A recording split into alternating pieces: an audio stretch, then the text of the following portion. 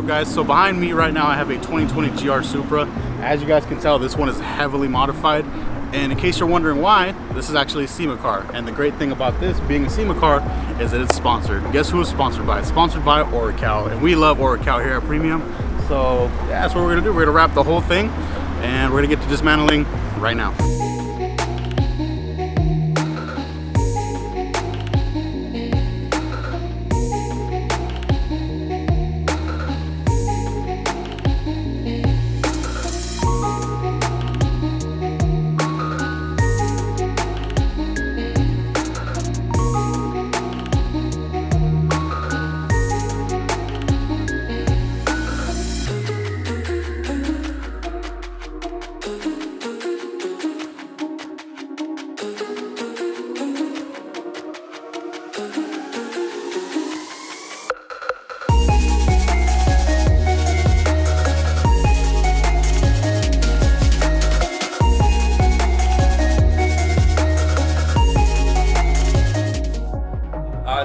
Here. It's the next day. We're working on this Supra. Tyler took it apart with Jack. They stayed up pretty late, just taking the car apart, getting prepped up for me.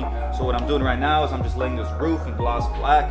This Supra specifically is gonna be in the Oracal booth in the SEMA show. So keep an eye out for that if you guys go. This is gonna be a full Nardo gray wrap and obviously Oracal that we got over there. And we're doing a livery on it. It's gonna be a special livery. What I'm using right now is this special gloss black from Oracal. We're gonna be doing the roof in it along with the hood scoop and a couple inlays along the whole car. But yeah, there's gonna be me on this project for the meantime while David and Anthony, they took the day off, I think even Monday off. But it's all right, you know, I got CJ to help me, I got Tyler to help me. Daniel's here taking apart his Supra. It's a busy day, so I'm gonna just get cracking on this for the most part. And yeah, it's my day.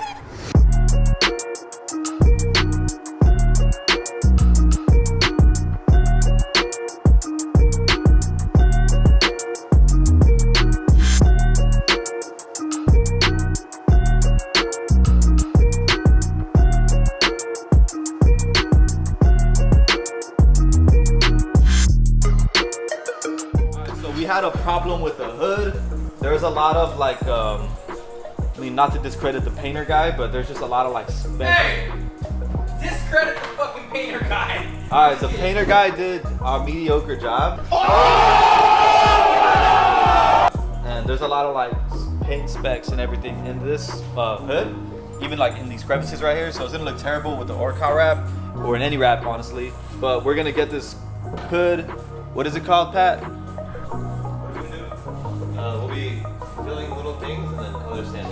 We're gonna be filling little things and then color sanding it, and then it should be better. But for the meantime, uh, since we're not work up, we're not gonna work on the hood, I'm gonna just do the doors, side skirt, fender. There's a lot of things for me to wrap in the meantime. I'm just waiting for David to help me lay the quarters and like the trunk and everything because they're pretty hard, and I don't want to do it myself. Um, yeah, let David do the hard part.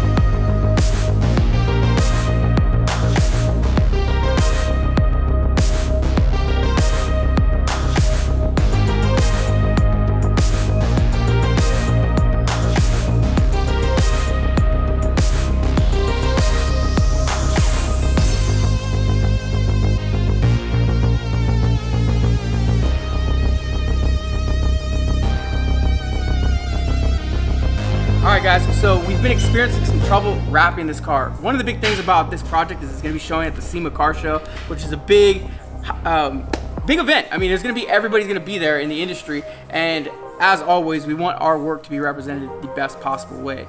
Um, when we're dealing with a car that's customized, you never know how well it was customized until you get to times like this. So right now, we're working on the car, we're wrapping the car at, in its white form, in its white paint form, you really don't see how bad the paint actually is. But because this car was painted, it looks like they got a custom hood and they got some custom fenders and probably some custom bumper up there.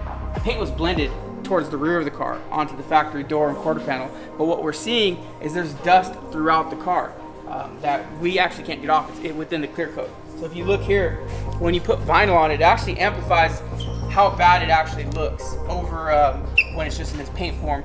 In the paint form, you really couldn't see it, but as soon as we applied vinyl to it, especially this gray, all of those imperfections are showing right through the vinyl. And one of the big things I'm stressing here is I don't want a car to go show at a car show like this, or any show for that matter, and not be 100%. So what we've been doing is communicating with the customer, letting him know that we're experiencing problems with his paint job. Paint job was done at some point in the last couple months, and it's not the greatest job. It's not the greatest work. It may have been a great paint job, but it wasn't finished properly, meaning color sand and buff was needed, and that's what we're seeing here. So we're gonna do our best to try to get the budget approved to just go through the car and, and do what we can and correct this paint before we wrap it.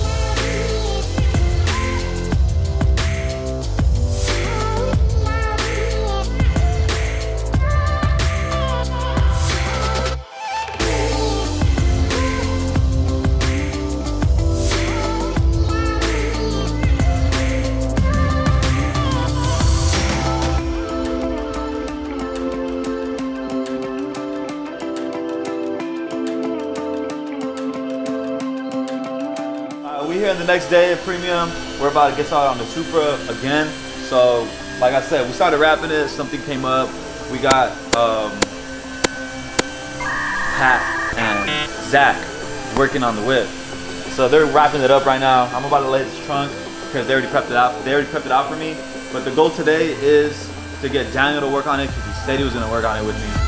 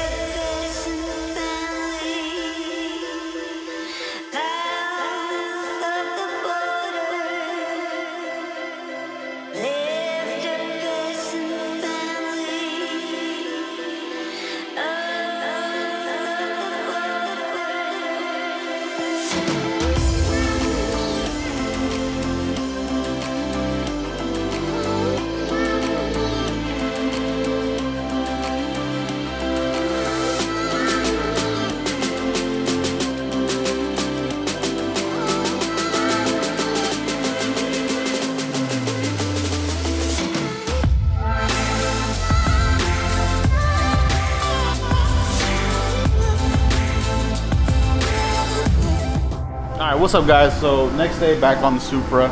Um, if you guys are wondering why there's a jack over there, um, Tyler's actually removing uh, the wheel that's on that side because we have a new one right here. And the reason we have a new one is because that one is a little scratched. And obviously, this is a SEMA car, so you know we want it to look as presentable as possible.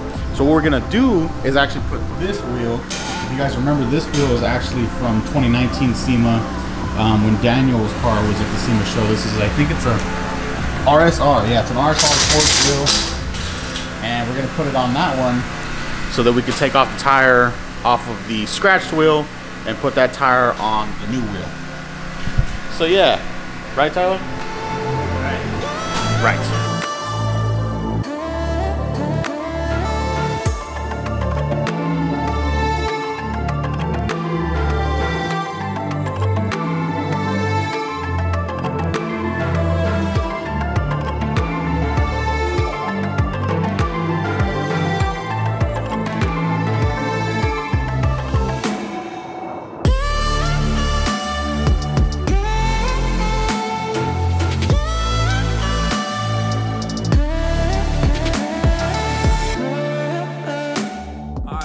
Day two. I'm wrapping this Supra. As you can see, I was able to wrap the whole side along with the trunk.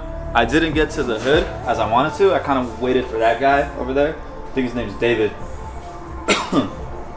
I was waiting for him to come back from his vacation to get this hood done because it is kind of hard with the with the Oracal, and I wasn't trying to waste material because wasting material is something we can't do on this project because we're limited.